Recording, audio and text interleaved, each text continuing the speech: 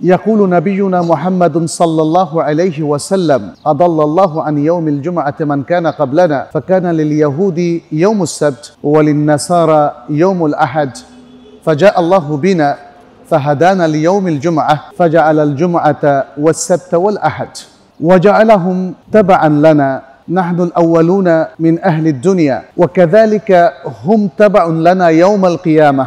نحن الآخرون من أهل الدنيا والأولون يوم القيامة المقضي لهم قبل الخلائق رواه মুসলিম প্রিয় নবী মোহাম্মদ সাল্লাল্লাহু আলাইহি ওয়াসাল্লাম বলেছেন আল্লাহ সুবহানাহু ওয়া তাআলা আমাদের পূর্ববর্তী জাতিগুলোকে জুমার দিন সম্পর্কে অনবহিত রেখেছিলেন এবং ইহুদিদের জন্য ছিল শনিবার আর নাসারা বা খ্রিস্টানদের জন্য ছিল রবিবার এরপর আল্লাহ সুবহানাহু ওয়া তাআলা আমাদেরকে নিয়ে আসলেন এবং আমাদেরকে জুমাবারের দিকে হেদায়ত দিলেন। আমাদের জন্য তিনি জুমা শনিবার এবং রবিবার এই দিনগুলো প্রদান করলেন।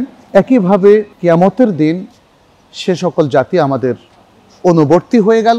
দুনিয়াবাসীদের মধ্যে আমরা সর্বশেষ জাতি আর কিয়ামতের দিন আমরা সবার অগ্রবর্তী জাতি এবং সমস্ত সৃষ্টির পূর্বে আমাদের জন্যই কাদা এবং কাদারের বিষয়টি নির্ধারিত থাকবে।